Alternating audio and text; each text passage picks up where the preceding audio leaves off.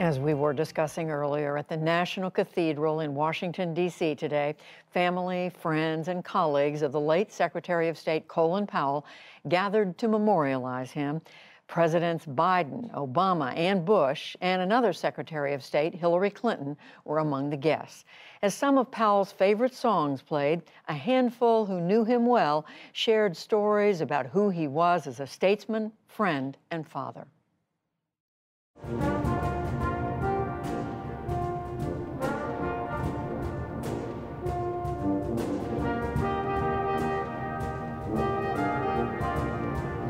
My heart is sad, for I have lost a friend.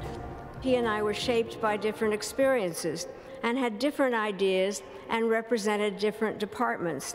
But over the past quarter century, we also became very close friends. The reason is that beneath that glossy exterior of warrior statesman was one of the gentlest and most decent people any of us will ever meet.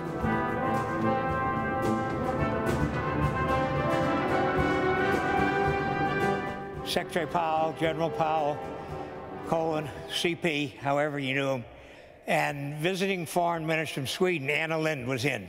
And she knew of Secretary Powell's affection for ABBA. So she opened up a full CD set of ABBA and presented it to him. Colin immediately went down on one knee and sang the entire Mamma Mia. Oh Lord, my God when I in awesome wonder. Not long ago, he was driving his Corvette on the Beltway and got a flat tire. A young disabled veteran saw him and pulled over to help. A few days later, to thank him for his help, my father invited the vet and his entire family over to the house for dinner. I've heard it asked, are we still making his kind? I believe the answer to that question is up to us. I hope we recommit ourselves to being a nation where we are still making his kind. Colin Powell was a great lion with a big heart. We will miss him terribly. How great thou art, how great